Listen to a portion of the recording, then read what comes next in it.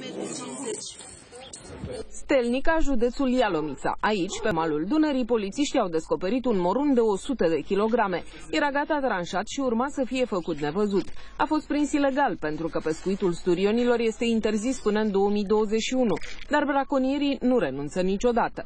S-a ajuns în această situație datorită faptului că un kilogram de caviar este foarte scump, poate ajunge până la 10.000 de euro. La ultimul control pe care l-am avut în iulie am surprins niște pescari care braconau și au fost confiscate aproximativ 2 kg de icre negre. Am găsit kilometri întregi de plase. Institutul de Cercetare pentru Protecția Mediului a început în 2011 un program de monitorizare a sturionilor. Este finanțat cu 7,2 milioane de euro, fonduri europene și de la buget.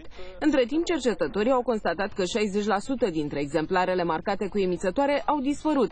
Acum însă monitorizarea nu mai poate fi continuată pentru că Agenția Națională de Pescuit și Acvacultură i-a retras autorizația de pescuit științific. Mentalitatea lor este politica ștuțului. Mai bine punem sub preș că nu e nicio problemă.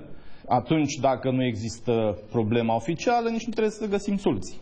E, asta este tactica domnului președinte AMPA. În replică, președintele Agenției Naționale de Pescuit consideră că programul cercetătorilor nu este eficient și vrea să-și lărgească echipa de combatere a braconajului. După ce uh, li se introduce ecosonda a uh, reproducătorilor și sunt lansați, ei sunt încă sub, sub narcoză.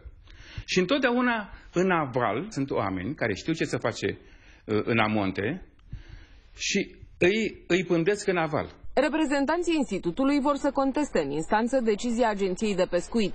Blocarea programului de monitorizare a sturionilor ar putea obliga România să restituie banii europeni încasați și nu ar mai exista nici rezultatele finale ale studiilor care, între altele, arată și amploarea braconajului.